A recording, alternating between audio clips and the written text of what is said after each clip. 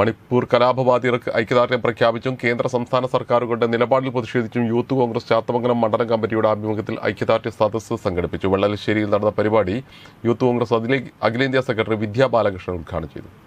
മണിപ്പൂരിൽ തുടരുന്ന വംശഹത്യയിലും സ്ത്രീകൾക്കും കുട്ടികൾക്കുമെതിരെ ക്രൂരമായി നടക്കുന്ന അതിക്രമങ്ങളിലും കാഴ്ചക്കാരായി നോക്കി നിൽക്കുന്ന കേന്ദ്ര സംസ്ഥാന ഭരണകൂടങ്ങൾക്കെതിരെ പ്രതിഷേധിച്ചും സമാധാനവും ഐക്യവും നഷ്ടപ്പെട്ട് ദുരിതമനുഭവിക്കുന്ന മണിപ്പൂർ ജനതയ്ക്ക് ഐക്യദാർഢ്യം പ്രഖ്യാപിച്ചും ചാത്തമംഗലം മണ്ഡലം യൂത്ത് കോൺഗ്രസ് കമ്മിറ്റി വെള്ളലശ്ശേരി അങ്ങാടിയിൽ ഐക്യദാർഢ്യ സദസ്സ് നടത്തി.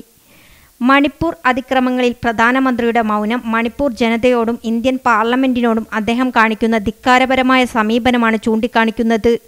എന്നും ധിക്കാരപരമായ അദ്ദേഹത്തിന്റെ മൗനം വെടിഞ്ഞ് മണിപ്പൂരിൽ ഐക്യവും സമാധാനവും പുനഃസ്ഥാപിച്ച് സംസ്ഥാനത്തിന്റെ ക്രമസമാധാനം ഉറപ്പുവരുത്താൻ എത്രയും വേഗം കേന്ദ്ര സർക്കാർ നടപടി കൊള്ളണമെന്ന് യൂത്ത് കോൺഗ്രസ് അഖിലേന്ത്യാ സെക്രട്ടറി വിദ്യാ ബാലകൃഷ്ണൻ ഐക്യദാർഢ്യ സദസ്സ് ഉദ്ഘാടനം ചെയ്തു പ്രസംഗിച്ചു.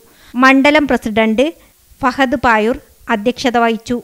Azeez Mavoor vision Vellalassery Aneesh M K Shafi master Ajeesh M K Shareef മലേമ Jiyad Kulimad Nandana Nechuli എന്നിവർ സംസാരിച്ചു.